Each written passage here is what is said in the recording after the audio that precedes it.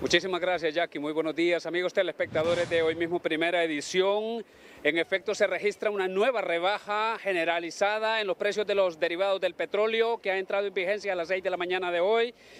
Ya acumulada de manera consecutiva, la gasolina superior eh, suma una rebaja de 16 lempiras con 66 centavos, mientras la gasolina regular, que tuvo una interrupción hace dos semanas, porque a esas rebajas eh, hubo una, un incremento, pues eh, las últimas dos semanas acumula 1.50, el diésel 15.67 y pues vamos a ver qué piensan los eh, consumidores eh, acerca de esta mm, rebaja que ya debería de sentirse en el bolsillo cada vez que vienen a, a abastecer de combustible. Muy buenos días, caballero.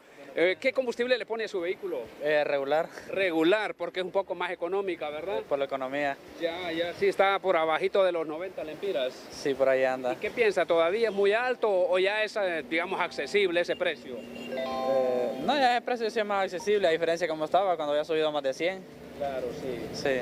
Ahora, la gasolina superior ha mantenido una rebaja ininterrumpida en las últimas semanas que ya acumula 16 lempiras con 66 centavos.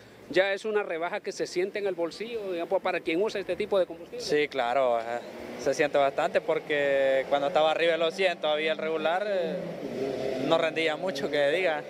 Sí. El diésel, que es lo que se usa para el transporte, para la industria, acumula una rebaja de 15 lempiras con 67 centavos. ¿Debería verse esto traducido en los precios de otros productos como la canasta básica? ¿Qué piensa usted?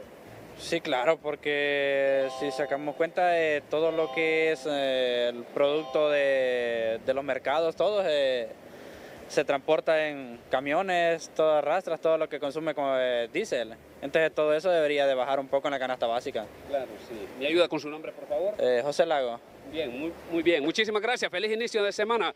Bueno, esto es lo que acontece en esta estación eh, gasolinera ubicada en el Boulevard eh, Suyapa, donde, como decimos, al igual que en el resto de las eh, estaciones gasolineras del país, ha entrado en vigencia una nueva rebaja generalizada en todos los derivados del petróleo. Regresamos al estudio.